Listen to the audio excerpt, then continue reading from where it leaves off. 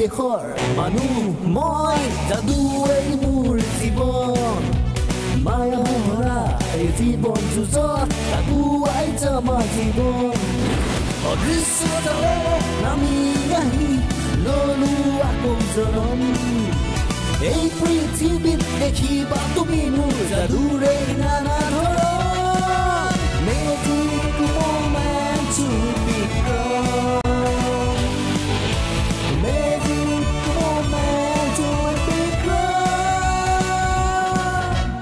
সকলোকে স্বাগতম জনাইছোঁ magic moment with Vikram season টুলৈ আজি আমি এটা বিশেষ জেগাত আহি উপস্থিত হৈছোঁ আৰু এই জেগাডোখৰৰ বিশেষত্ব কি আপোনালোকে খন্তেক পিছতে আপোনালোকে গম পাব। আমি সোণাপুৰত আহিছোঁ আজি।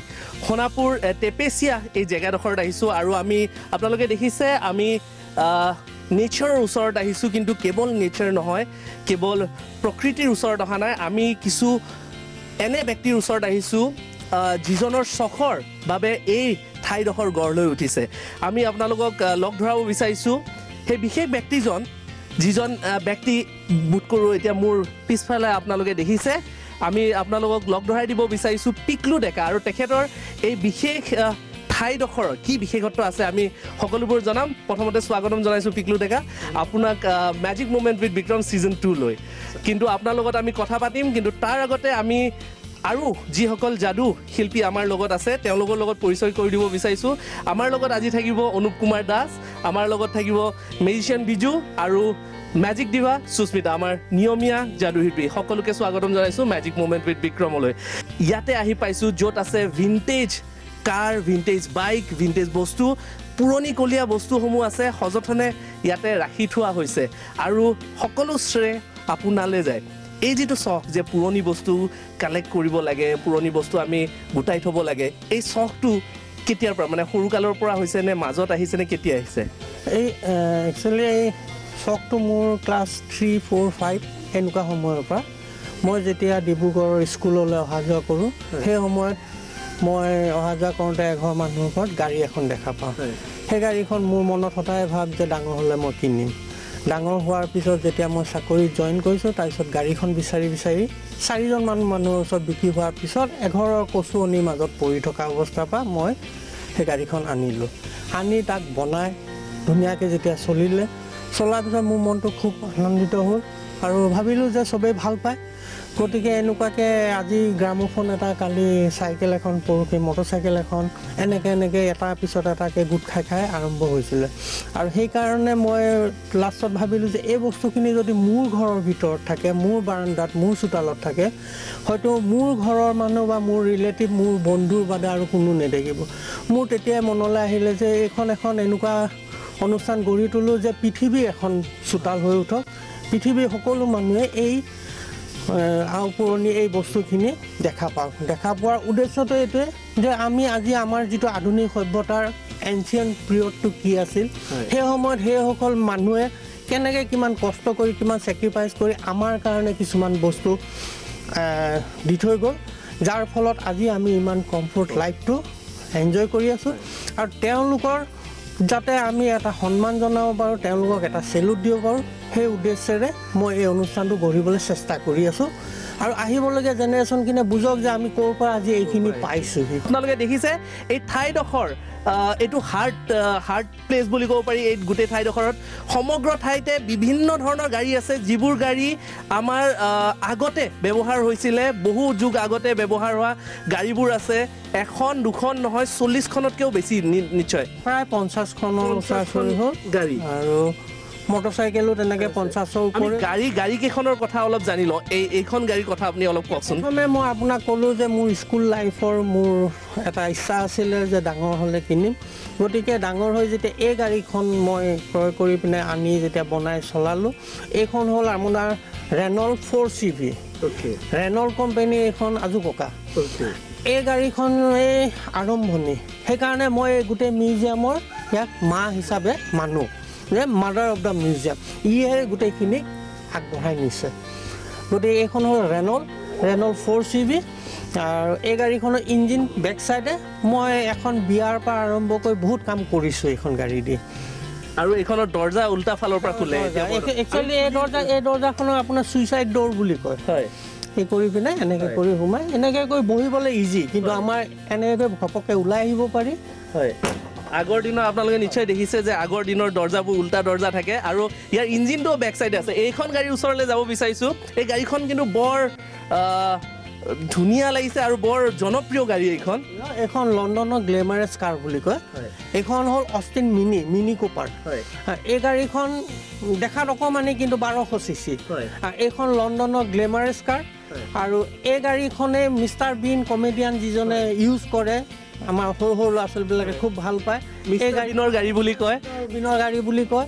আমাৰ বলিউডৰ চিনেমা আপোনাৰ প্লেয়াৰ্ছত পুনৰ বনাই অনা গাড়ীখনো আছিলে এইখনে। যোৱা ডেৰ বছৰমানৰ আগতে লণ্ডনৰ পৰা এজন মানুহ আহি মোক চিধি কৈছে যে বিছ লাখ টকা দিম এই গাড়ীখন দিয়ক। মই কৈছোঁ এইখন মোৰ গাড়ী নহয় এইখন আমাৰ গাড়ী। কাৰণ মই মৰাৰ পিছত এইখিনি মই লগত লৈ নাযাওঁ গতিকে আমাৰ হিচাপে ইয়াত থাকিব। হয়। আৰু এইটো এইটো আচৰিত হ'ব যে এইটো গোটেই ভাৰতবৰ্ষত আপোনাৰ সাতখন বা আঠখনে আছে। আৰু তাৰ ভিতৰত এখন আমাৰ অসমত আছে সোণাপুৰত আছে। মই যদি এই গাড়ীখন তেওঁ বিছ লাখ টকা অফাৰ দিছিলে মই যদি দি দিলোহেঁতেন কিন্তু আমাৰ এই নৰ্থ ইষ্টৰ মানুহে আৰু আমাৰ সৰু সৰু ল'ৰা ছোৱালীবিলাকে মিষ্টাৰ বিনৰ লাইভ গাড়ী কেতিয়াও দেখা নাপায়। হয়। মই দৰ্শকসকলক দেখুৱাব বিচাৰিছোঁ মিষ্টাৰ বিনৰ গাড়ী আৰু লক কৰা আছে কিন্তু মিষ্টাৰ বিনৰ গাড়ীখনত মই আজি অলপ চেলফি উঠাৰ নিচিনা মোৰো মন গৈছে কাৰণ মিষ্টাৰ বিন বুলি ক'লে মিষ্টাৰ বিনৰ গাড়ীখন আমি কেতিয়াও পাহৰি যাব নোৱাৰোঁ। আৰু লণ্ডনৰ আটাইতকৈ প্ৰথম প্ৰিফাৰেঞ্চত যিখন গাড়ী ৰাখে বা গ্লেমাৰাছ গাড়ী এইখনে হৈছে অষ্টিন মিনি অষ্টিন মিনি গাড়ীখন আৰু আমি গাড়ী চাব বিচাৰিছোঁ। আমি ভিতৰলৈ যাওঁ আৰু যিবোৰ ছফ্ট টপ আজিৰ দিনত যিবিলাক ছফ্ট টপ বুলি কয় এনেকৈ ওপৰত নাথাকে এই এই- এইখন গাড়ীৰ অলপ এইখন আপোনাৰ মৰিছ কনভাৰ্টেবল বুলি কয়। আমাৰ যি যিটো আমাৰ ভাৰতবৰ্ষৰ Ambassador company Ambassador forefather Morris company পাই এম্বেচেডাৰ হৈছিলেগৈ। এইখন নাইনটিন আপোনাৰ হেৰি থাৰ্টি নাইন ফৰ্টি ফিফটিজলৈকে চলিত এইখন। আৰু এইখন এম্বেচাডৰ ফ'ৰ ফাদাৰ মনি ক'বলগীয়া যে এই যিকেইখন আপুনি এইমাত্ৰ দেখা পালে। এই গাড়ীবোৰ মই আজি অলপ দিনৰ আগতে তিনিমাহমানৰ আগতে ভঙাগড়ত ৰং কৰাইছোঁ। ৰং কৰা ভঙাগড়ৰ পৰা এই জৰাজীৰ্ণ ৰাস্তাৰে এই পাহাৰৰ ওপৰলৈ চলাই আনিছোঁ। আমি ভিতৰলৈ যাব বিচাৰিছোঁ। এখন তিনিচুকীয়া বাইকৰ নিচিনা দেখিছোঁ। এইখন কি বস্তু বাৰু? আপুনি অলপ আগলৈ আহিলে। এইখন আপোনাৰ first world war second world ৱাৰৰ সময়ত আমেৰিকান ৱেপেন্স কেৰিয়াৰ আছিলে। এই এই ৱেপেন্স কেৰিয়াৰখনত খাৰবাৰত নি অনা নিয়া কৰিছিলে সেই সময়ত। আৰু এইখন হ'ল থ্ৰী হুইলাৰ আমেৰিকান আৰু ই গোটেই ৱৰ্ল্ডত মই জনাত কিমানটো সত্য মই হেৰি কৰিব নোৱাৰোঁ ডাঠিকৈ ক'ব নোৱাৰোঁ। কিন্তু মই জনাত এতিয়া মাত্ৰ পৃথিৱীৰ ছখনে জীয়াই আছে। তাৰে ভিতৰত এখন এইখন। ইয়াৰ বহুতখিনি বস্তু অলপ মিচিং আছে। আমি বনাই আছোঁ অলপ অলপকৈ। আস্তে আস্তে হয়তো ইয়াকো গঢ় দি উঠাম। আপোনালোকক দেখুৱাব বিচাৰিছোঁ একেবাৰে জৰাৰ জীৰ্ণ অৱস্থাত এখন পৃথিৱীৰ ভিতৰত ছখন বৰ্তমানলৈকে আছে। পপুলাৰ ছফ্টৱেৰে এই এইটো ইঞ্জিনৰ পৰা ইয়াক শক্তি প্ৰদান কৰা হৈছিলে আৰু ইয়াৰ গোটেইখিনি বস্তু এতিয়া এইখন বনাই আছে এইখন আকৌ বনাই নতুন। সময় লাগিব। ঠিক আছে তাৰ ওচৰত এখন হালধীয়া ৰঙৰ গাড়ী দেখিছোঁ। এইখন গাড়ীৰ বিষয়ে আপুনি অলপ কওকচোন। এইখন এইখন গ্ৰীনিজ বুকত গ্ৰীনিজ বুকত ইয়াৰ ৱৰ্ল্ড ৰেকৰ্ড আছে। ই ৱৰ্ল্ডৰ হায়েষ্ট চেলিং কাৰ এইখন ৱৰ্কছ ৱেগনৰ বিটল হিটলাৰৰ অনুৰোধত পৰ্চিয়ে এইখন গাড়ী ডিজাইন কৰি দিছিলে আৰু পৃথিৱীত এনেকুৱা জেগা নাই য'ত নেকি বিটল নাই। হা, ই গ্ৰীনিজ বুকত ৰেকৰ্ড আজিও ইয়াৰ ৰেকৰ্ড কোনো ভাঙিব পৰা নাই। বেষ্ট চেলাৰ কিতাপ হয়তো আমি দেখিছিলোঁ এইখন হৈছে পৃথিৱীৰ আটাইতকৈ বেষ্ট চেলাৰ গাড়ী। আৰু যেতিয়া আপোনাৰ এনেকুৱাবোৰ গাড়ী ওচৰত থাকে আপুনি আপোনাৰ লগত আছে বুলি গম পায় আপোনাৰ কেনেকুৱা ফিল হয়? আপোনাৰ অনুভৱ কেনেকুৱা? একেবাৰে সঁচাকৈ যদি মোক সুধিছে মই একদম অন্তৰৰ পৰা কৈছোঁ মোৰ এনেকুৱা নালাগে যে এইখিনি মোৰ গাড়ী। আৰু যিদিনাই হয়তো এইখিনি মোৰ গাড়ী বুলি মোৰ মনত আহিব সেইদিনাই মই ধ্বংস হ'ম। গতিকে এইখিনি মোৰ নহয় এইখিনি আমাৰ। Treasure wheel the North East heritage foundation মই মৰাৰ পিছত এই গাড়ীখিনি আমাৰ হৈ থাকি যাব কাৰণ মই এইখিনি লগত লৈ যাব নোৱাৰোঁ। আমি চবেই খুব চব বস্তু টানো যে মোক এইটো লাগে মোক এইটো লাগে আমাক পৃথিৱী হাঁহি আছে যে এটা দিন আহিব তোক এই পৃথিৱীতে মিলাই থ'ম। কিন্তু আমি যদি এই পৃথিৱীৰ পৰা একো নিব নোৱাৰোঁ আমি যদি ধুনীয়াকৈ এখন অতি মহৎ উদ্দেশ্য মহৎ আপোনাৰ কথা বতৰা। আমি সেইখন আৰু এখন ভক্স ৱেগনৰ গাড়ী দেখিছোঁ। এই গাড়ীখনৰ কথা আমি আপোনাৰ পৰা শুনিম কিন্তু তাৰ আগতে যিহেতুকে মেজিচিয়ান অনুপ কুমাৰ দাস আছে আপোনাক অলপ আগলৈ আহিবলৈ অনুৰোধ জনাইছোঁ। কেনেকুৱা লাগিছে ইমান পুৰণি পুৰণি গাড়ী? জাষ্ট এক্সাইটমেণ্ট মানে আমি ৰোমাঞ্চিত। তেনেকৈ কি হৈছে মানে এইবিলাক মই আচৰিত। ইমান কালেকশ্যন দেখি। কালেকশ্যন দেখি মই আচৰিত হৈ গৈছোঁ। আৰু এইখিনিতে মই দৰ্শকসকলক আন এটি কথাৰ পিনে মই আন এটি কথা মই জনাব বিচাৰিছোঁ যে অনুপ কুমাৰ দাসে অসমৰ মেজিচিয়ান হৈ ৰিটায়াৰ্ড কৰিছে কেইদিনমান আগতে কিন্তু তাতকৈ ডাঙৰ খবৰ এটা হ'ল যে অনুপ কুমাৰ দাস বৰ্তমান অল ইণ্ডিয়া মেজিচিয়ান এছ'চিয়েশ্যনৰ ভাইচ প্ৰেচিডেণ্ট নৈহাটীৰ ভাইচ প্ৰেচিডেণ্ট হৈ হৈছে দায়িত্ব গ্ৰহণ কৰিছে। সেয়েহে আজি যিহেতুকে আজি আপুনি মেজিক মুভমেণ্ট উইথ বিক্ৰমত আহিছে আপোনাৰ পৰা এটা যাদু চাব বিচাৰিছোঁ। থেংক ইউ মোৰ লগত এটা মেজিক ৱাণ্ড আছে। মই এতিয়া মেজিকটো চাম। চাম। ঠিক আছে বাৰু এটা যাদুৰ লাঠি আৰু এই যাদুৰ লাঠিৰ পৰা কি হয় আমি যাদুটো চাওঁ বাৰু। ৱাও এটাৰ পিছত আনটো যাদুৰ লাঠি হাৱাৰ পৰা ওলাই আছে নাজানো এটা ডাঙৰ হাত চাপৰি দিব পাৰোঁ বাৰু। এটা ডাঙৰ হাত চাপৰি। ৱাও এটাৰ পিছত এটা ইমানবোৰ যাদুৰ লাঠি যেন ৰং বিৰঙী গাড়ীৰ মাজত আছোঁ আৰু তাৰ ভিতৰত যাদুৰ লাঠি এটাৰ পিছত এটা যাদুৰ লাঠি এটাৰ পিছত এটা যাদুৰ লাঠি। ইমানবোৰ যাদুৰ লাঠি ওলাইছে এটা পুনৰবাৰ ডাঙৰ হাত চাপৰি হ'ব পাৰে। অনুপ কুমাৰ দাসলৈ থেংক ইউ ছ' মাছ এইবাৰ এই গাড়ীখনৰ ওচৰলৈ আমি আহিব বিচাৰিছোঁ যিহেতুকে আমি এই গাড়ীখনৰ কথা পাতিব বিচাৰিছিলোঁ। এই গাড়ীখনৰ কথা আপুনি কি জনাব? এই গাড়ীখন আমেৰিকা ব্ৰিটেইন আৰু এইফালে জাৰ্মানত খুব ফেমাছ আৰু আমেৰিকাততো ইয়াক হিপি ৱেগেন বুলি কয়। হিপি কালচাৰ মই পিচ এণ্ড হেৰিৰ কাৰণে খুব ব্যৱহাৰ কৰিছিলে। দ্বিতীয়তে এই গাড়ীখনৰ মিউজিক বেণ্ডবিলাক মেক্সিমাম মিউজিক বেণ্ডে এইখন খুব ফেমাছ গাড়ী আছিলে। ছিক্সটি নাইনৰ উড ষ্টক বুলি এটা প্ৰগ্ৰেম আছিলে তাতো এইখন খুব ফেমাছ আছিলে। এইখন বৰ্তমান পৃথিৱীৰ ইণ্টাৰনেশ্যনেল মাৰ্কেটত বহুত ওপৰ লেভেলৰ দাম কিন্তু আমাৰ কাৰণে ইয়াত জিৰ' আপোনাৰ ইমান কষ্টকে যে আপুনি গাড়ীবোৰ সংগ্ৰহ কৰিছে এই গাড়ীবোৰ ইয়াতে ৰাখিছে এই সংগ্ৰহ কৰোঁতে আপোনাৰ যিটো ষ্ট্ৰাগল যিটো আপুনি যিহেতুকে চাকৰি কৰি আছে আৰু যিহেতুকে এটা অৰ্থ এটা ডাঙৰ ধনৰ দৰকাৰ হয়। এখন এখন গাড়ী ক্ৰয় কৰোঁতে হওক বা তাক আনি ইয়াতে পুনৰ নতুন ৰূপ দি নতুন উজ্জীৱিত কৰাৰ কাৰণে যিটো প্ৰচেষ্টা এইটো আপোনাৰ কষ্ট নহয় ইমান ষ্ট্ৰাগল আপুনি আপুনি হাৰ মানা নাই ইমানবোৰ ষ্ট্ৰাগল কৰি এতিয়ালৈকে ইমানবোৰ গাড়ী কালেকশ্যন আৰু আমি কালেকশ্যনবোৰ দেখুৱাম আপুনি কি ক'ব? নহয় আজি আমাৰ পৃথিৱীত হওক বা আমাৰ অসমত ইমান কৰোৰ মানুহৰ মাজত মোৰ মনত কিয় এই ভাৱটো আহিলে? মই মোৰ নিজকে মই এটাই ভাবোঁ যে মোক ঈশ্বৰে এই কামটোৰ কাৰণে পঠিয়াইছে। গতিকে মই এই কামটো কৰি গৈ আছোঁ। ইয়াৰ কাৰণে ইয়াৰ কাৰণে ধৰি লওক মোৰ কষ্ট হৈছে। মই কাবুলীৱালাৰ পৰাও পইচা ইণ্টাৰেষ্টত পইচা আনি কাম কৰিছোঁ। আৰু দ্বিতীয়তে মই এজন চাকৰিয়াল। মোৰ চাকৰি যি দা দৰমহা পাওঁ গোটেই পইচাখিনি ইয়াত লগাওঁ। অপ্ৰিয় সত্য এটা কওঁ যদি এই মুহূৰ্তত মই এই পৃথিৱীৰ পৰা নাইকিয়া হৈ যাওঁ মোৰো মোৰ ফেমিলিয়ে মোৰ ৱাইফে খৰিকেইডাল কিনি মোক জ্বলাবৰ কাৰণে বহুত চিন্তা কৰিব লাগিব। কাৰণ আমি any time minus balance zero' নহয়। আমাৰ ধাৰ ঢেৰ আছে। গতিকে মাইনাছ বেলেঞ্চেৰে মই এই পৃথিৱীক কিবা এটা দি যাব বিচাৰিছোঁ। এইটো কাৰণে দি যাব বিচাৰিছোঁ যে আমি এই পৃথিৱীৰ যিখিনি অক্সিজেন আমি ধাৰত আছোঁ এই পৃথিৱীত হোৱা গছ লতা খাই আমি যেনেকৈ জীয়াই আছোঁ এই পৃথিৱীক আমি কিবা এটা দিয়াৰ চেষ্টা।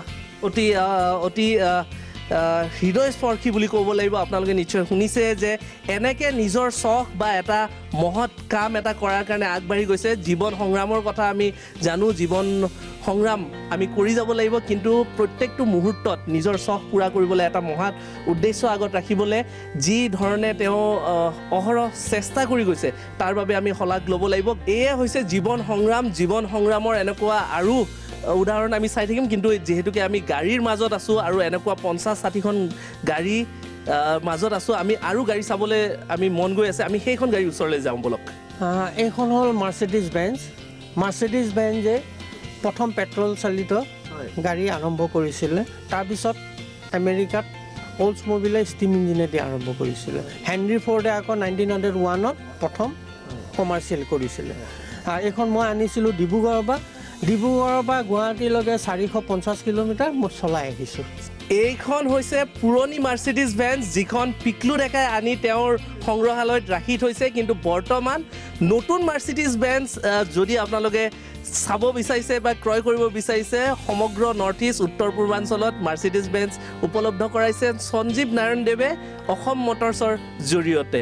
আমি মাৰ্চিডিজ বেঞ্চৰ পৰা আৰু কিছুমান গাড়ী চাব যাওঁ বলক। এইখন হ'ল আপোনাৰ ফ্ৰান্সৰ গাড়ী এইখন চিত্ৰন টেক্সনাভা বুলি কয়। এইখন গাড়ীয়ে প্ৰথম ৱৰ্ল্ডৰ ফ্ৰণ্ট হুইল টেকন'লজিটো আৰম্ভণি কৰিছিলে আৰু আজিৰ যুগলৈকে যিটো ফ্ৰণ্ট হুইলৰ ছিষ্টেম আমাৰ নতুন আধুনিক যুগত সেই ছিষ্টেমটো ইয়াৰ পৰাই আৰম্ভ হৈছে। এইখন হ'ল ফিয়েট টপলিন এইখন গোটেই ভাৰতবৰ্ষত মাত্ৰ ছয় সাতখনেই আছে। এই টু ছিটাৰ এইখন। এইখন ফিয়েট এইখন হ'ল আপোনাৰ ফ'ৰ্ড ফ'ৰ্ড কোম্পেনীয়ে নাইনটিন হাণ্ড্ৰেড ওৱানত প্ৰথম ৱৰ্ল্ডত মাৰ্কেটিং কৰিছিলে তেওঁলোকৰ হেণ্ডি তাৰমানে ফ'ৰ্ডে এ- এশ বছৰ পুৰণি বুলি ক'লেও ক'ব পাৰি এশ বছৰ আগৰ। অৱশ্যে ঠিক এখন গাড়ী হোৱা নাই। ইহঁতে এ, আগতে বেলেগ বেলেগ ডিজাইনৰ উলিয়াইছিলে তাৰ মাজত এখন এইখন নাইনটিন থাৰ্টিজৰ এইখন গাড়ীৰ বিষয়ে অলপ জনাওক এইখন জীপ জীপ চাইৰকি এখন এইখন গাড়ী মোক আমাৰ মোৰ দাদা বন্ধু এজনে গিফ্ট হিচাপে দিছিলে মণ্টুদা বুলি। হা মণ্টুদাই দিয়া গাড়ী। আৰু এইখন গাড়ীয়ে আমাৰ প্ৰায় হলিউডৰ চিনেমাবিলাকতো খুব ওলায়। এইখন টাৰ্মিনেটৰ টু টু আৰ্নলে এই মডেলৰ গাড়ী চলাইছিলে। আৰু মিডল ইষ্টৰ বহু চিনেমাতো এই গাড়ীখন দেখা পোৱা যায়। ঠিক তেনেকৈ ঠিক তেনেকৈ এই ক'লা ৰঙৰ এই ভণ্টিকেইজনীয়ে চাই আছে। সেই গাড়ীখন যেতিয়া মিজোৰামলৈ ৰাজীৱ গান্ধী আহিছিলে তেতিয়া তেখেতে নিজে ড্ৰাইভ কৰিছিলে গাড়ীখন। এই গাড়ীখন এই হয়। চেণ্টাৰ পইণ্ট হোটেলৰ মালিক শ্বিলঙৰ স্বত্বাধিকাৰ চেণ্টাৰ পইণ্ট মালিক তেখেতে এই গাড়ীখন ডনেট কৰিছে আমাৰ এই অনুষ্ঠানটোলৈ। ঠিক তেনেকৈ আপুনি খুব জৰাজীৰ্ণ অৱস্থাত এখন গাড়ী আছে আপোনাৰ এইখন গাড়ী পিছফালৰ ছাইডটোৱে দেখা গৈছে। সেই গাড়ীখন অল্ডছ মবিল অল্ডছ মবিলৰ গাড়ী ইণ্ডিয়ালৈ প্ৰথম আহিছিলে নাইনটিন হাণ্ড্ৰেডত কেলকাতালৈ মাত্ৰ তিনিখন। তাৰ ঊনৈছ বছৰ পিছত হোজাই যমুনামুখৰ ৰায় বাহাদুৰৰ ঘৰলৈ এই গাড়ীখন আহিছিলে। তেখেতসকলৰ পৰা এই গাড়ীখন মই জৰাজীৰ্ণ অৱস্থা আনি থৈছোঁ। ভৱিষ্যতে ইয়াক গঢ় দিম। আৰু ঊনৈছ এইটো সোতৰ পাইছে ওঠৰ ঊনৈছত দি এশ বছৰ চুব। চেষ্টা কৰিম যাতে এশ বছৰ পুৰণিৰ এইটো যিটো হাণ্ড্ৰেড ইয়েৰ্ছৰ এইটো গ'ল গল্ডেন জুবলি নহয় গল্ডেন জুবলিত যাতে ই সুন্দৰ হৈ উঠক। নাজানো কিমানখিনি আগবঢ়াব পাৰিম। ঠিক তেনেকৈ আপোনালোকে যিখিনি গাড়ী ইয়াত দেখা পাই আছে গোটেইখিনি গাড়ীয়ে চলিত। এটা সময়ত ইয়াক আই আই টিলৈ চলাই নি পিনে প্ৰগ্ৰেম কৰিছিলোঁ। দ্বিতীয়তে আপোনাৰ নেশ্যনেল গেমছৰ মেইন ষ্টেডিয়ামত ডিছপ্লে হৈছিলে। তাৰপিছত বহুত দিন মোৰ ছেট নাছিলে কাৰণে গাড়ীখিনি বহুতখিনি নষ্ট হৈ গ'ল। এতিয়া পুনৰ আকৌ আৰম্ভ কৰি আছোঁ। আৰু বহুতো গাড়ী চাব বাকী আছে বহু বাইক চাব বাকী আছে বহু পুৰণি বস্তু চাব বাকী আছে। কলৈকো নাযাব লৈছোঁ এটা চমু বাণিজ্যিক বিৰতি।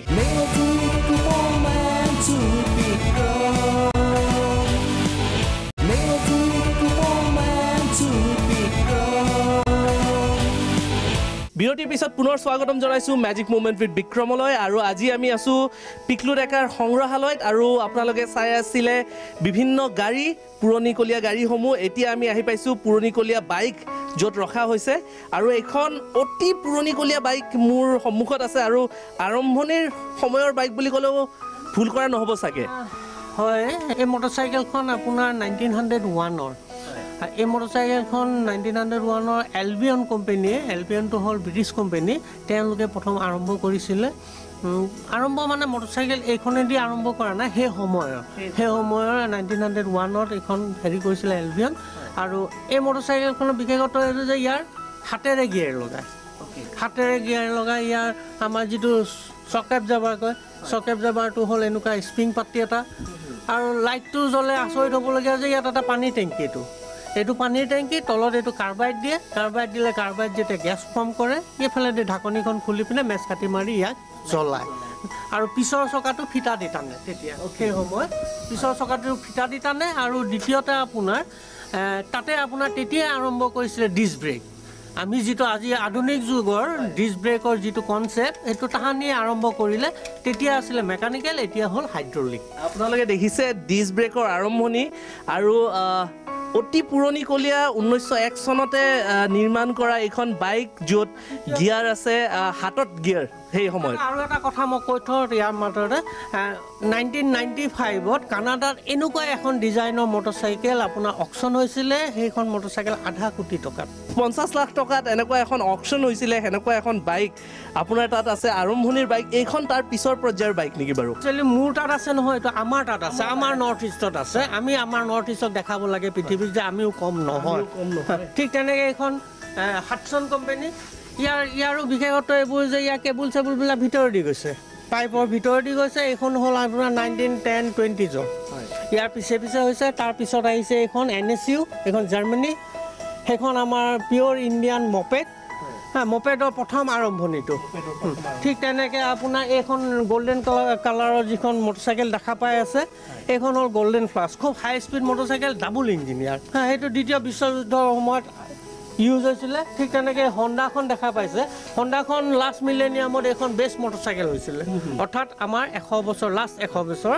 আৰু ইয়াৰ ৰেডিয়েটৰ ভি টুইন ইঞ্জিন পিছফালৰ চকাটো আকৌ পপুলাৰ চাপ্টেদি টানে। চেইন বা বেল্ট নহয় বেল্ট মই নহয় এইখিনিতে দৰ্শকসকলক অলপ সময় লৈ দেখুৱাব বিচাৰিছোঁ এইখন এখন বিশেষ বাইক যিখন বাইকত চেইন নাই পপুলাৰ চাফ্ট মানে গাড়ীৰ নিচিনাকৈ পপুলাৰ চাফ্টেৰে চলোৱা হয় আৰু ইয়াতে ৰেডিয়েটাৰ আছে। আৰু কিমান চি চিৰ ইঞ্জিন বা কেনেকুৱা ধৰণৰ? হয় এই দেখা পোৱা আপোনালোকে যিখিনি মটৰচাইকেল আহিছে গোটেইখিনি ৰানিং অৱস্থাত থোৱা হৈছে। আপোনাৰ বাৰু কেতিয়াবা বেয়া নালাগেনে যে কিবা অৰ্থৰ অভাৱত বা কিবাহৰ অভাৱত আপুনি ধৰক বস্তুখিনি যেনেকুৱা ধৰণত আপুনি মানে পৰিপাটিকৈ বা যেনেকুৱা তত্বাৱধান দিব লাগিছিল সেইবোৰৰ পৰা অলপ বঞ্চিত হৈছে বুলি আপ- আপুনি বুলি কিয় কৈছে? মই মোৰে এই পৃথিৱীৰ এই হেৰিটেজখিনি সুন্দৰকৈ থৈ যোৱা অকল মোৰে দায়িত্ব নেকি? আমাৰ সকলোৰে দায়িত্ব নহয় নেকি? আমাৰ আজু ককাসকলক আমি সুন্দৰকৈ ৰাখিবলৈ বেয়া লাগে বেয়া লাগিলেও মই একো হেৰি নকৰোঁ। মোৰ লাইফেদি মোৰ যিখিনি আৰ্থিকভাৱে যিখিনি পাৰোঁ মই সেইখিনিয়ে কৰি থৈ যাওঁ। মই যোৱাৰ পিছত এইখিনি যদি কিবা হৈও যায় মোৰ আপত্তি নাই। এইখিনি সময়ত আপোনাক অসমৰ দৰ্শকে চাই আছে। আপুনি অসমৰ দৰ্শকক যিসকল আছে আপুনি কি ক'ব বিচাৰে যে এই সংগ্ৰহালয় যিখিনি অপৰুগীয়া সম্পদ যিখিনি আছে এই সম্পদখিনিক ৰাখি থোৱা ব্যৱস্থাখিনিৰ বাবে আপুনি দৰ্শকসকলক কি ক'ব বিচাৰে? যিকোনো মানুহে এইখিনি আমাৰ মই বাৰে বাৰে কৈছোঁ এইখিনি আমাৰ। আমাৰ বস্তুখিনি আমি সকলোৱে মিলি কৰিব লাগে। আমি সকলোৱে কৰিলে সুন্দৰ হৈ উঠিব মই অকলে কৰিলে সৰুকৈ হ'ব। ডাঙৰকৈ হ'লে আমাক গোটেই পৃথিৱীয়ে ডাঙৰকৈ চিনি পাব সৰুকৈ হ'লে আমাক সৰুকৈ চিনি পাব। গতিকে সকলো আগবাঢ়ি আহিব লাগে। আমি সকলোৱে মিলি যদি কৰোঁ ধুনীয়াকৈ হৈ যায় স্পেইনৰ এজন আৰ্টিষ্টে ইয়াত এখন পেইণ্টিং কৰি থৈ গৈছিলে। তেওঁ hands together with your heart তাৰমানে হাৰ্টেৰে সৈতে হেণ্ডশ্বেক কৰিব কৈছে। তেতিয়াহে আমি আগবাঢ়ি যাব পাৰিম পৃথিৱীৰ। দুখন আপোনালোকে চাব পাৰে এইখন Royal Enfield five hundred C C এইখন ছেকেণ্ড ৱৰ্ল্ডৰ দ্বিতীয় বিশ্বযুদ্ধত ইউজ হোৱা ঠিক ইয়াৰ ইয়াৰ পিছে পিছে ইয়াৰ আগে আগে নাইনটিন থাৰ্টি থাৰ্টি টুত এইখন উলিয়াইছিলে হেণ্ড গিয়াৰ ৰয়েল এনফিল্ড খুব ফেমাছ এইখন ফ্লাইং ফ্লি বুলি কয়। এয়াৰ ফ'ৰ্চে পেৰাচুটৰ পৰা ড্ৰপ কৰিছিলে চলজাৰে চলাবৰ কাৰণে। এইখনো এখন খুব আচৰিত ধৰণৰ। ইয়াৰ অৰিজিনেল বৰ্তমানলৈকে ছিট কভাৰলৈকে মই সযতনে ৰাখিব বিচাৰিছোঁ। গতিকে ক'ব নোৱাৰোঁ কিমানখিনিলৈকে আগবঢ়াব পাৰোঁ। ফটোত মালা নলগোৱালৈকে আগবঢ়াই যাম তাৰপিছত মই একো নাজানো। এই সংগ্ৰহালয়ত কেৱল গাড়ী বাইকে নহয় বিভিন্ন ধৰণৰ বস্তু আছে। পুৰণি কেমেৰাৰ পৰা আদি কৰি টেলিফোনৰ পৰা আদি কৰি নানা বস্তু আছে আপোনালোকে নিশ্চয় দেখিছে। ইয়াতে ফ্লাক্সৰ পৰা আদি কৰি বিভিন্ন সময়ৰ যি ঘড়ী হওক বা কেমেৰা হওক টেলিফোন হওক এইবোৰ সম্পত্তি আছে। এইবোৰৰ ওচৰলৈ আমি যাম কিন্তু যোৱাৰ আগতে মেজিক ডিভা সুস্মিতাৰ ওচৰলৈ যাব বিচাৰিছোঁ। মেজিক ডিভা সুস্মিতা যিহেতুকে আছা আৰু ইমান ভিণ্টেজ মিউজিয়াম এটাত আমি আহিছোঁ। তোমাৰ পৰা এটা যাদু চাব এতিয়া ওলাইছোঁ। তোমাৰ তুমি কি মেজিক দেখুৱাবা? খুব ইণ্টাৰেষ্টিং মেজিক এটা দেখুৱাম। যিহেতুকে ইমান সুন্দৰ জেগাত আছোঁ ইমান ভিণ্টেজ বস্তুবোৰ আমি দেখা পালোঁ। আৰু আপোনালোকে নিশ্চয় দেখা পাইছে মোৰ লগত এখন হোল ৱৰ্ল্ড ষ্টাম্প এলবাম এখন আছে। কাৰণ মই ষ্টাম্প কালেক্ট কৰি একচুৱেলি খুব ভাল পাওঁ। কিন্তু এইখন মোক সৰুতে মোৰ ইচ্ছা আছিলে ষ্টাম্প কালেক্ট কৰা কিন্তু আপোনালোকে নিশ্চয় দেখিছে এইখন একেবাৰে খালী। কাৰণ মোৰ এডুকেশ্যনৰ কাৰণে হওক বা যি প্ৰব্লেমেই হওক মই প্ৰব্লেমবোৰৰ কাৰণে এতিয়ালৈকে ষ্টাম্প কালেক্ট কৰিব পৰা নাই।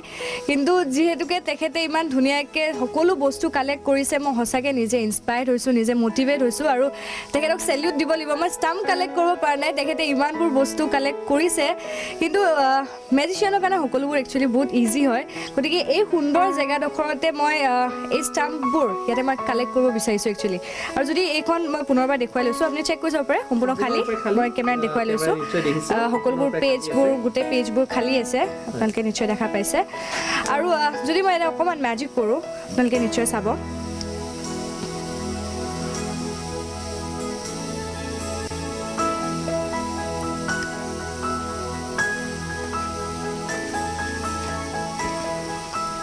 নিশ্চয় দেখা পাইছে। মই এটা অকণমান মেজিক কৰিছোঁ আৰু মেজিক কৰাৰ পিছত যদি মই ষ্টাম্প বুকখন খুলি দিওঁ। Oh' my god oh' my god পাইছে।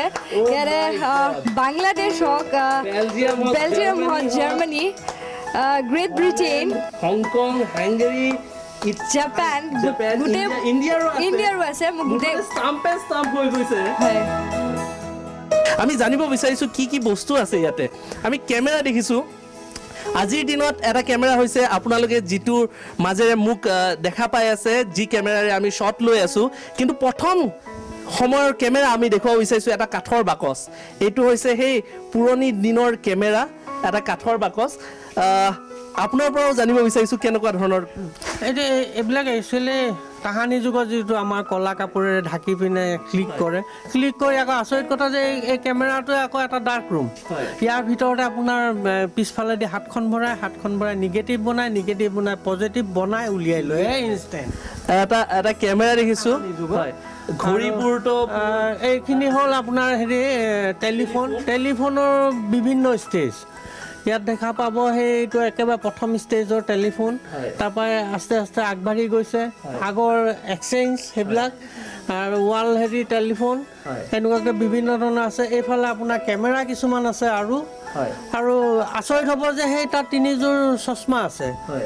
সেই চশমা এযোৰ যিটো আমি সাধাৰণতে গান্ধী চশমা বুলি কওঁ মাজৰ যিযোৰ আপোনালোকে দেখা পাই আছে সেইযোৰ হ'ল ৰেবেনৰ নাইনটিন হাণ্ড্ৰেড থাৰ্টিজ ফৰ্টিজৰ ৰেবেন কোম্পেনীৰ ৰেবেন কোম্পানীৰ চশমা থাৰ্টিজ নাইনটিন হাণ্ড্ৰেড থাৰ্টিজ ফৰ্টিজৰ চশমা। মাজুৰ যিযোৰ চশমা আছে বিভিন্ন ধৰণৰ আমি যি বস্তু আমাৰ পৃথিৱীৰ পৰা হেৰাই গৈছে সেইখিনি বস্তুক আকৌ পুনৰ উদ্ধাৰ কৰি এটা সযতনে থৈ যোৱাৰ চেষ্টা। আৰু পিছফালে বগা এই ফ্ৰিজটো যে দেখা পাইছে সেই ফ্ৰিজটো আপোনাৰ তলত কেৰাচিন তেলৰ চাকি এটা জ্বলাই দিব লাগে। ইয়াত কোনো ইলেক্ট্ৰিচিটি নালাগে। তাহানি এনচিয়েণ্ট পিৰিয়ডৰ এইটো ৰিফ্ৰিজৰেটৰ বিভিন্ন ধৰণৰ ৰেডিঅ' দেখিছোঁ। এতিয়া ৰেডিঅ'ৰ মাজত আমি ৰেডিঅ'ৰ লগত জড়িত এটা যাদু কৰি লওঁ বাৰু। আমাৰ লগত এটা বৰ পুৰণি দিনৰ অতি পুৰণি দিনৰ ৰেডিঅ' এটা আছে এই সংগ্ৰহালয়ৰ পৰা লৈছোঁ। আৰু ৰেডিঅ'ৰ লগত এটা যাদু কৰিব বিচাৰিছোঁ। মোৰ লগত সাধাৰণ কাপোৰ এখন আছে। আৰু এই ৰেডিঅ'টো লৈছোঁ। চাওঁ হওক এই মেজিকটো কি হয়।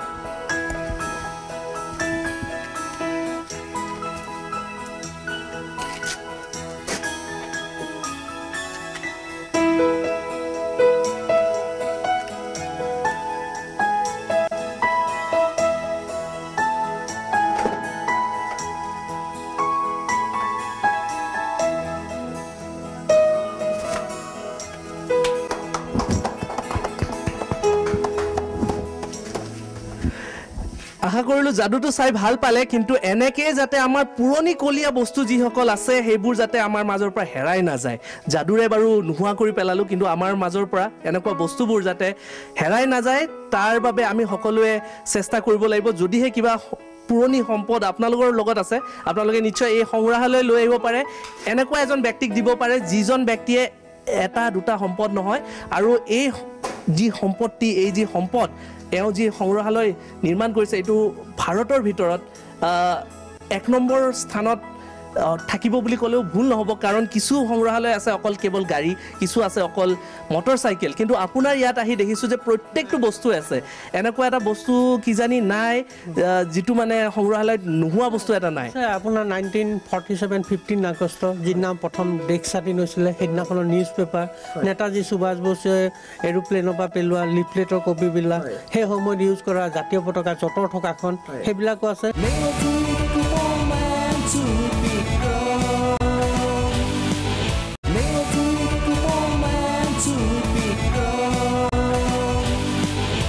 বিৰতিৰ পিছত পুনৰ স্বাগতম জনাইছোঁ magic movement with Vikram season টুলৈ আজি আমি আছোঁ পিকলু ডেকাৰ সংগ্ৰহালয়ত আৰু আপোনালোকে ইতিমধ্যে দেখিলে বিভিন্ন ধৰণৰ গাড়ী বাইক আৰু বিভিন্ন বস্তু। এইবাৰ আমি এই গ্ৰামোফোনৰ কথাবিলাক অলপ জানিব বিচাৰিছোঁ বিভিন্ন ধৰণৰ গ্ৰামোফোন দেখিছোঁ ইয়াতে। সেই গ্ৰামোফোনবিলাকে এইটোকে বুজাইছে যে আজিৰ যিটো যুগৰ চাউণ্ড ছিষ্টেম সেই চাউণ্ড ছিষ্টেমৰ প্ৰথম ষ্টেজটো ইয়াত আছে আপোনাৰ এইটো দেখা পাইছে এইটো ঊনৈছশ চনৰ ঊনৈছশ দুই তিনি এনেকুৱা সময়ৰ।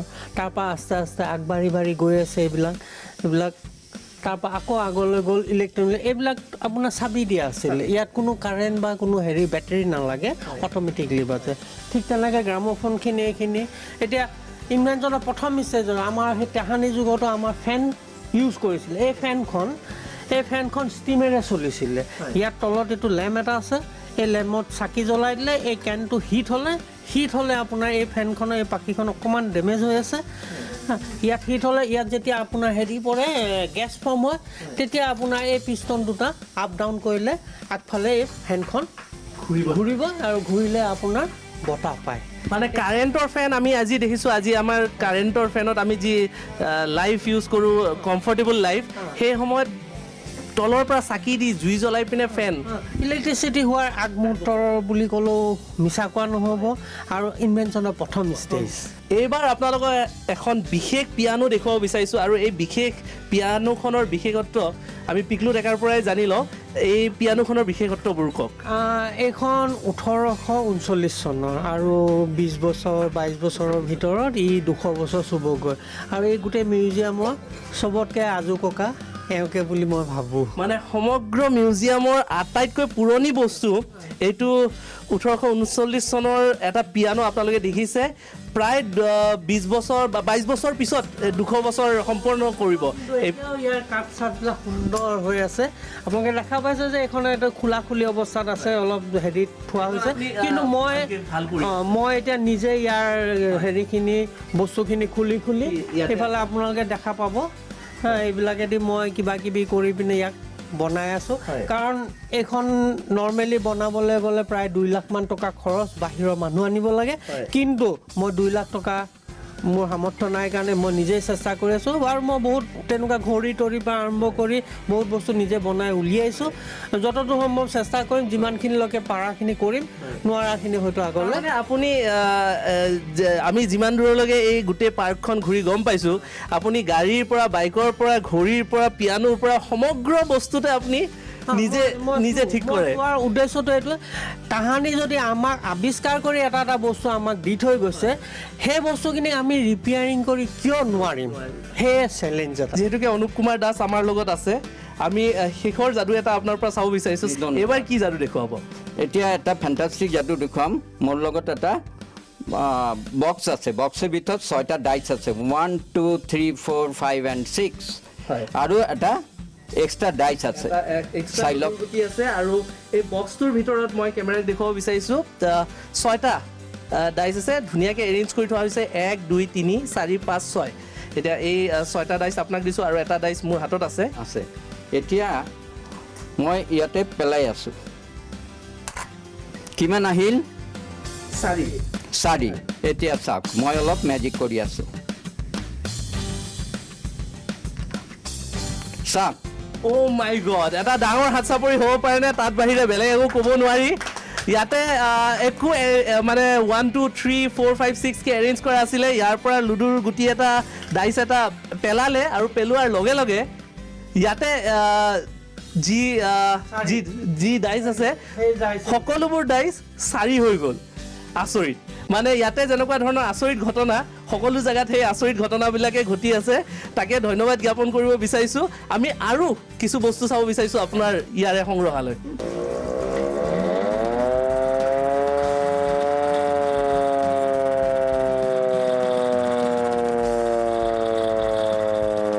এইটো এটা চাইৰেন এই চাইৰনৰ বিষয়ে আপুনি আমাক জনাওক। এইটো এইটো দ্বিতীয় বিশ্বযুদ্ধত ইউজ কৰা চাইৰেন আৰু ইয়াত যিখিনি বস্তু দেখা পাইছে গোটেইখিনি দ্বিতীয় বিশ্বযুদ্ধত ইউজ হোৱা।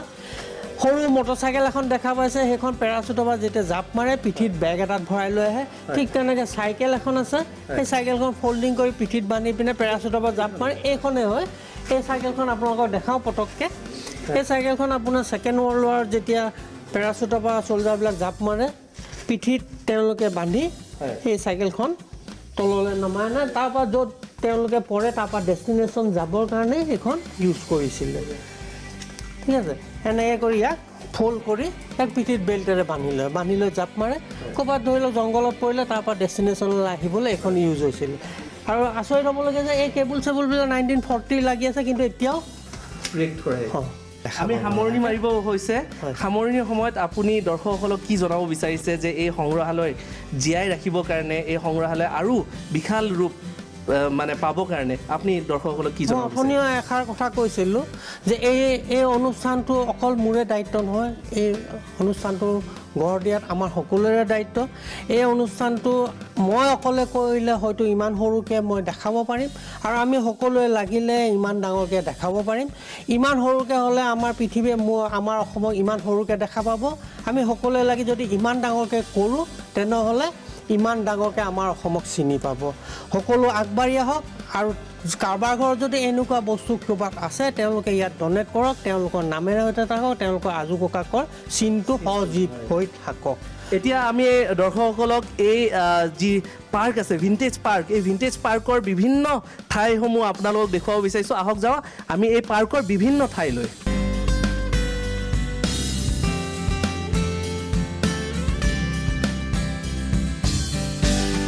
আশা কৰোঁ ট্ৰেজাৰ ফিল্ডৰ এই ভিণ্টেজ পাৰ্কৰ এই অনুষ্ঠানটিত আপোনালোকে নিশ্চয় আহিব আহি আপোনালোকে অনুভৱ ল'ব আৰু আশা কৰোঁ আজিৰ এই অনুষ্ঠানটি আপোনালোকে নিশ্চয় ভাল পালে। কিন্তু আপোনালোকক এইখিনিতে জনাব বিচাৰিছোঁ যে আমি মেজিক মুভমেণ্ট উইথ বিক্ৰমত এটা নতুন সংযোজন কৰিছোঁ। যিসকল যাদু প্ৰেমী আছে নাইবা যাদু শিল্পী আছে আপোনালোকে যদি যাদু পৰিৱেশন কৰিব বিচাৰিছে বা যাদু দেখুৱাব বিচাৰিছে আপোনালোকে আপোনালোকৰ যাদুসমূহ ভিডিঅ' ৰেকৰ্ডিং কৰি আমাক প্ৰেৰণ কৰিব পাৰে। আমি তাক আমি পৰিৱেশন কৰাৰ আমি চেষ্টা কৰিম। মেজিক মুভমেণ্ট উইথ বিক্ৰমত যিসকলে আহিব পৰা নাই এতিয়ালৈকে নাইবা তেওঁলোকে নিজৰ কৌশলসমূহ পৰিৱেশন কৰিব বিচাৰিছে তেওঁলোকলৈ আমাৰ অনুৰোধ যে আপোনালোকে আপোনালোকৰ ভিডিঅ' ৰেকৰ্ডিং কৰি ল'লে হ'ল আৰু আমাক হোৱাটছএপ যোগে পঠালে হ'ল। আমাৰ নম্বৰটি আৰু হোৱাটছএপ নম্বৰটি আমি আপোনালোকক জনাই দিব বিচাৰিছোঁ double eight double two double three double two double zero' মই পুনৰবাৰ কৈছোঁ double eight double two double three double two double zero' এই নম্বৰটিত আপোনালোকে আপোনালোকৰ আহ, কিবা যদি সুধিবলগীয়া থাকে যাদু শিকিবলগীয়া থাকে আপোনালোকে ফোন কৰিব পাৰে নাইবা আপোনালোকৰ ভিডিঅ'সমূহ আমাক প্ৰেৰণ কৰিব পাৰে।